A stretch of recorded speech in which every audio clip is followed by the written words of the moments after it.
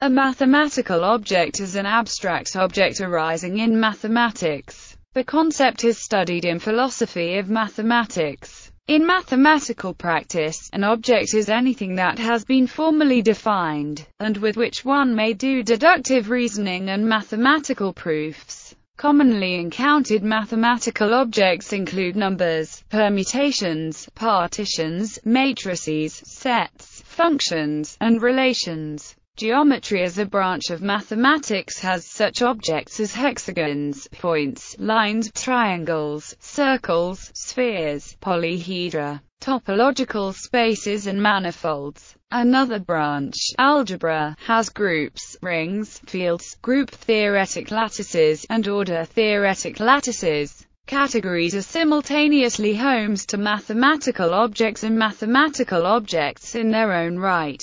In proof theory, proofs and theorems are also mathematical objects. The ontological status of mathematical objects has been the subject of much investigation and debate by philosophers of mathematics. Cantorian framework one view that emerged around the turn of the 20th century with the work of Cantor is that all mathematical objects can be defined as sets.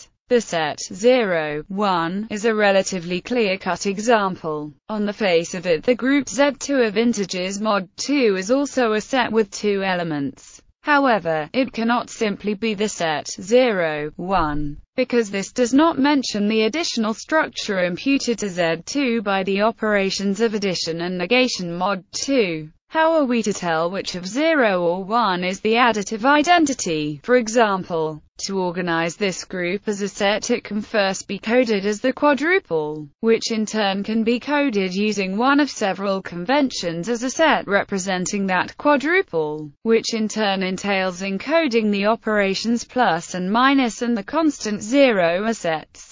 Sets may include order denotation of the particular identities and operations that apply to them, indicating a group, abelian group, ring, field, or other mathematical object. These types of mathematical objects are commonly studied in abstract algebra. Foundational paradoxes. If, however, the goal of mathematical ontology is taken to be the internal consistency of mathematics, it is more important that mathematical objects be definable in some uniform way regardless of actual practice, in order to lay bare the essence of its paradoxes. This has been the viewpoint taken by foundations of mathematics, which has traditionally accorded the management of paradox higher priority than the faithful reflection of the details of mathematical practice as a justification for defining mathematical objects to be sets. Much of the tension created by this foundational identification of mathematical objects with sets can be relieved without unduly compromising the goals of foundations by allowing two kinds of objects into the mathematical universe